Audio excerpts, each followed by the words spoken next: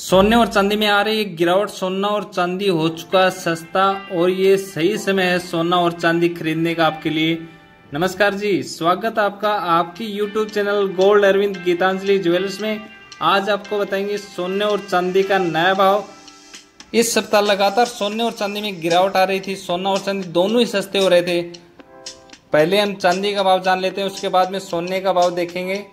देखिए, आज एक ग्राम चांदी है गुणहत्तर आठ ग्राम चांदी का रेट है पाँच सौ चौवालीस, दस ग्राम चांदी हो चुकी है छह सौ नब्बे और सौ ग्राम चांदी का रेट हो गया छह हज़ार नौ सौ और एक किलो चांदी है गुणहत्तर हज़ार।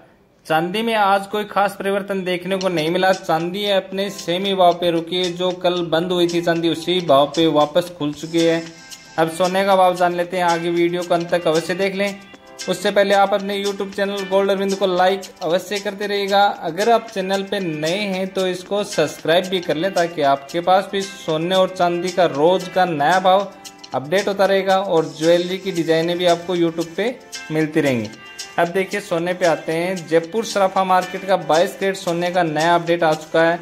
आज सोना थोड़ा सा बढ़ चुका है। सौ ग्राम सोने पे आज दो हज़ार रुपये की बढ़ोतरी हुई। एक ग्राम सोना पचपन सौ दस हो गया, जो कल चौवन सौ नब्बे था।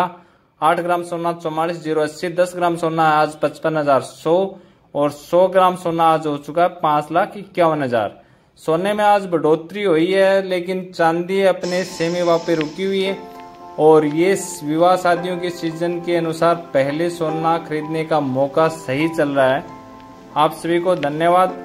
वीडियो को लाइक और कमेंट बॉक्स में आपका मैसेज अवश्य डालिएगा।